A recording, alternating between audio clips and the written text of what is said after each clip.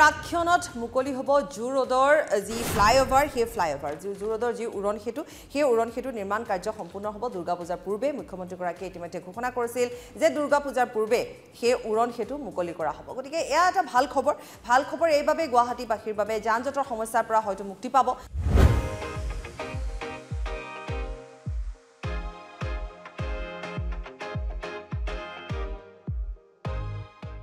হয়তো বুলি এইবাবেই কৈছোঁ কাৰণ আমি মালিগাঁৱতো উৰণ সেতু দেখিছোঁ কিন্তু যান জঁটৰ সমস্যা কিমান দূৰ অন্ত পৰিছে সেয়া আচলতে এতিয়াও ক'ব নোৱাৰি বা এতিয়াই কৈ দিয়া এটা বিষয় নহয়। কিন্তু যিয়ে নহওক আৰু এখন উৰণ সেতু মুকলি হ'বলৈ ওলাইছে গতিকে সেয়া এটা সকলোৰে বাবে সন্তোষজনক খবৰ।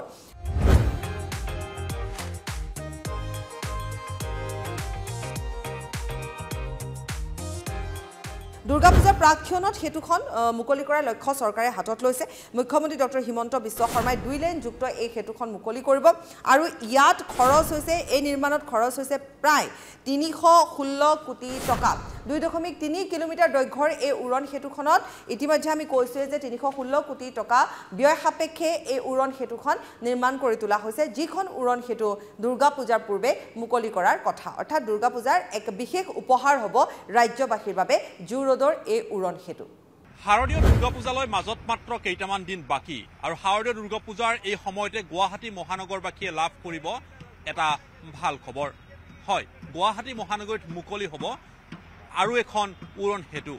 যিখন উৰণ সেতুৰ কাৰণে গুৱাহাটী মহানগৰীৰ দীৰ্ঘদিনীয়া এটা সমস্যা আছিলে দীৰ্ঘদিনেই যান জঁটত ভুগিছিলে সেই গুৱাহাটী মহানগৰবাসীয়ে উপহাৰ ৰূপে লাভ কৰিব শাৰদীয় দুৰ্গা পূজাৰ সময়ত। আৰু সেয়েহে এতিয়া সকলোৱে অপেক্ষা কৰিছে এই শাৰদীয় দুৰ্গোৎসৱৰ সময়খিনিত কিয়নো মুকলি হ'ব আনুষ্ঠানিকভাৱে জোৰত উৰণীয়া সেতু। আৰু জোৰত উৰণীয়া সেতু মুকলি হোৱাৰ লগে লগে দীৰ্ঘদিনৰ যি যান জঁটৰ সমস্যা আছিলে অঞ্চলটোৰ বহুখিনি নাইকিয়া হ'ব বুলি বহুতে আকাশ প্ৰকাশ কৰিছে।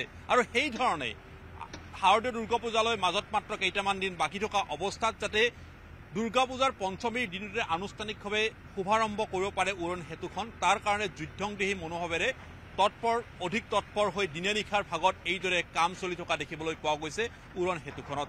আমাৰ এপ্ৰক্স নাইণ্টি পাৰ্চেণ্ট কাম হৈ গৈছে। আৰু আমাৰ ওপৰৰ টেন পাৰ্চেণ্টমান কাম বাকী আছে। আপুনি চাই আছে এইখিনিমান বাকী আছে। ছেম আমাৰ এইটোতো ছেম কাম বাকী আছে।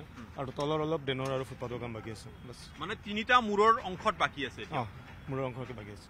টোটেল আমি যদি চাওঁ সেতুখন কিমান মান দৈৰ্ঘ্যৰ এইটো আমাৰ approx two point three kilometre আছে।